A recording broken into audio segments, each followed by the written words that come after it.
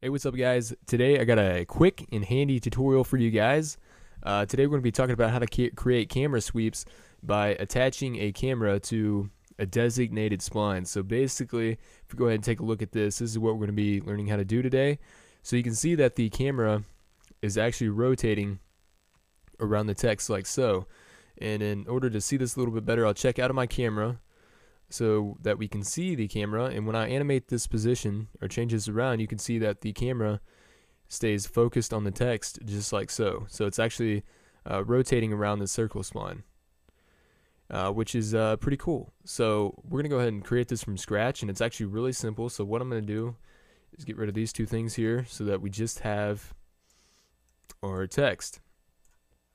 And you can use any object you want and here it doesn't really matter so uh, whenever you do this, if you are using text, you're going to want to make sure uh, that when you go up to MoGraph and go to MoText, and you create your text, that you want to change the line from left to middle. Okay, and then what we're going to do now is just go up to the camera icon here and choose Target Camera. And then what we're going to do is go into the Target tag here, and we're going to change the target object from this to the text here. So now the camera, if we go into it, is actually focused on the text now. So it's going to stay focused on this object.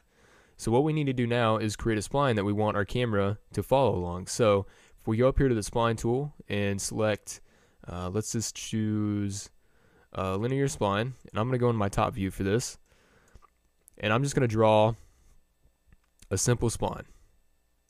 So just two points here and then I'm going to go back into my perspective view real quick. I'm going to check outside of my camera. And I'm just going to adjust this, uh, adjust this to the way I want it. So I'm going to pull this back a little bit and maybe pull this back a little bit as well. Alright, just so we can kind of see what's going on here. And what I'm going to do now is right click on the camera. I'm going to go to Cinema 4D tags and go to the Align to Spline tag.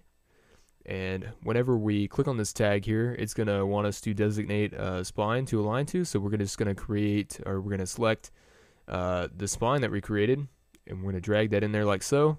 And if we check back into our camera, you can see that the uh, camera is now attached to this spline.